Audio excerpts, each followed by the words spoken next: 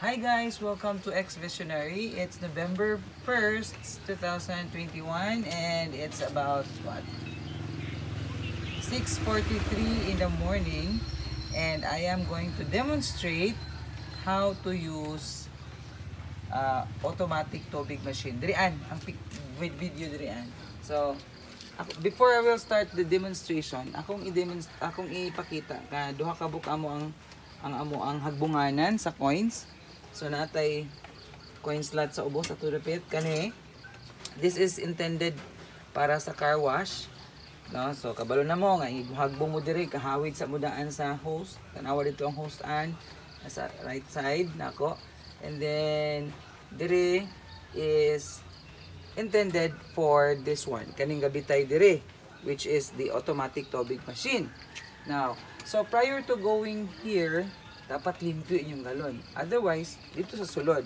Pero mas mahal ang sa sulod, no? Kay limpyuhan, ah, kanang, at I, I advise nga dapat, maybe once a week inyong palimpyuhan ang inyong galon, aron para siyempre mawala ang mga bakterya sukod sa panang nasa sulod din sa inyong galon. Pero kung inyong hunahuna, klaro ra kaayo nga limpyo pa inyong galon, so go ahead. Anyway, we are purified water, so 3 months pa na, aya pa na mahugaw inyong galon unless inyong gibulad sa init. So mulumot na bisan pag unsang klase sa tubig na ma-mineral, ma-purified, ma-distilled, lumuton dyan na inyong galon kung inyong gipasagdaan sa bulad tanaw. So first things first, abrihan ninyo ang galon. Ay! woo, woo, woo. Wait. Asa na itong taklob? Okay. Okay.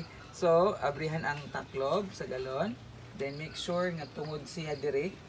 Aya ni patungod sa siya. Okay. Dayon, of course, ready.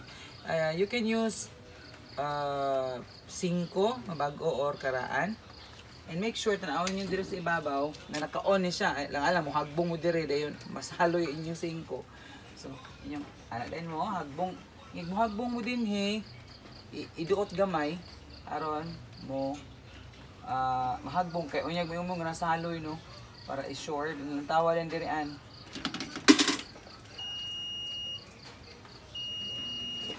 Okay? So now, as you can see, nagsugod na siya sirit sa sulod. Sige, tanawan. Okay? Nasudla na siya, no? So, ang isa kay nani is 16 liters. No? Kanang na yung mga containers, 16 liters of water. So, gidesign na ko na siya nga 5 kay para man pod nga katubitong na yung mga Wilkins that is 4 liters of water.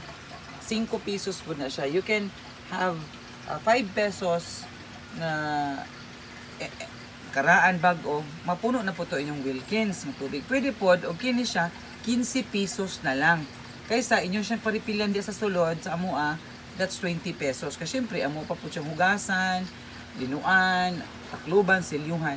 So after this, so, 5 ray akong kwarta, pag break ay ko sa ngatanan. So after that, muhunong ra po na siya. Now you see, nihunong na siya.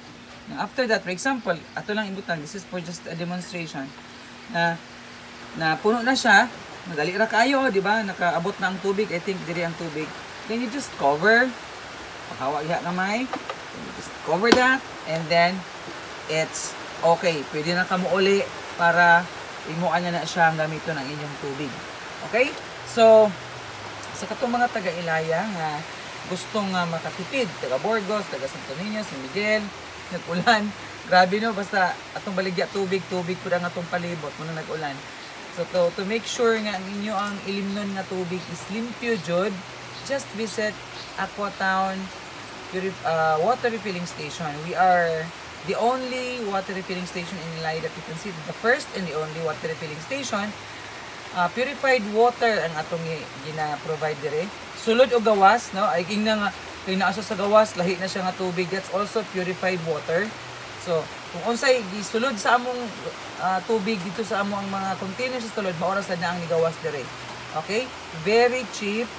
Nga ako na siyang gipabarato kay gusto na ako nga masuplayan ang mga silingang barangay og limpyo nga tubig.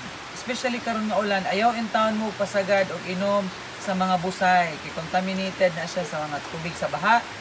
Ah, posible nga na, siya yung mga makasakit sa tiyan, makakalibanga. Sometimes ang mga sa, mga hugaw nga naa sa mga busay karon hinahinay dili ritso tag magdaot no? So that's it for this video. I hope uh, naka-learn mo karon. And if you are new to my channel ayog kalimot nga mo like da sa ubos mo comment sa ubos kung unsa pay gusto ninyo nga ako ang himuon og video i-demonstrate o uh, I hope inyo siyang lang taon ang uban akong videos dili lang to pang butang akong mga videos it's also for students and professionals um, all together para makatan mo sa technology nga among gigamit as blind that also be useful for people nga dili pod blind. That's all for this video. The happy Halloween ba karon? Happy Halloween or All Saints Day. Happy All Souls Day or whatever. Uh, good morning.